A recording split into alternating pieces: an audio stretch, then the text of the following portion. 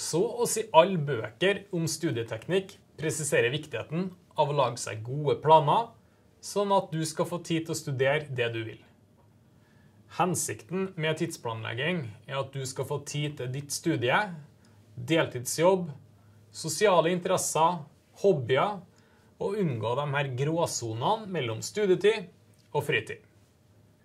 Tidsplaner kan òg gi deg viktig informasjon om din studieatferd. Hvor mye tid bruker du egentlig på studiene?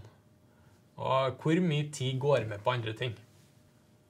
Hvor mange timer du må jobbe med ditt studie i løpet av uka, det varierer noe avhengig av hvordan studie du går.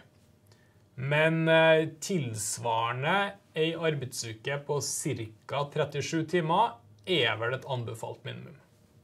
Men kanskje må du beregne mer.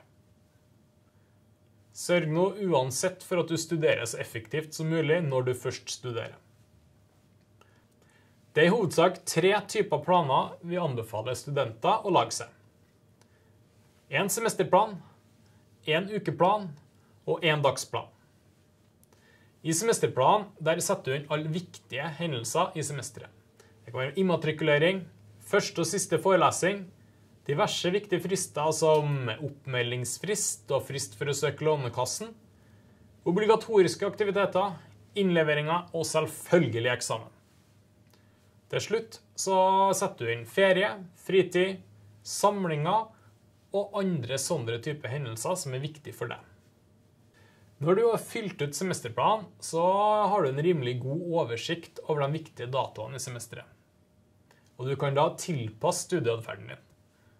Sånn at du ikke blir overraska over at det plutselig er en obligatorisk aktivitet eller innlevering med frist uka etter at du har planlagt en hyttetur med vennegjengen din. Da kan du isteden sette deg egne tidsfrister, sånn at du får tid til både den obligatoriske aktiviteten og det sosiale. Det andre du bør lage deg, det er en ukeplan. Her setter du inn alle regelmessige hendelser i løpet av uka. Det kan være forelesninger, øvinger, kollokvier, lab. Kanskje har du en deltidsjobb. Og I tillegg så trener du helt sikkert noe. Alle sånne ting bør du sette inn i ukeplanen. Og Når du har fylt ut alle de viktige aktivitetene, så ser du når du har tid til egenstudier.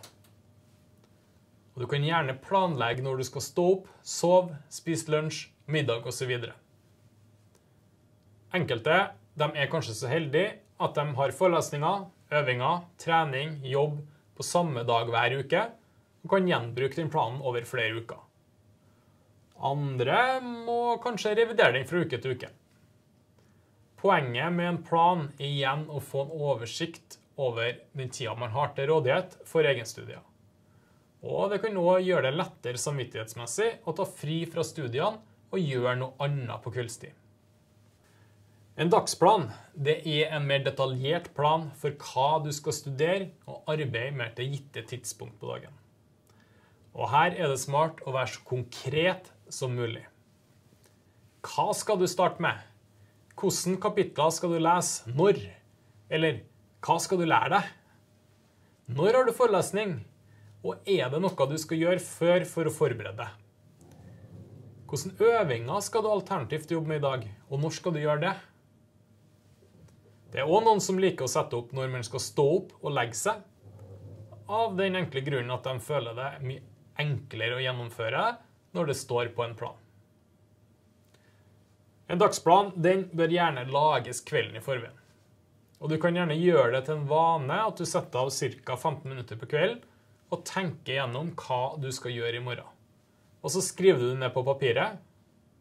Men husk å være litt realistisk, da.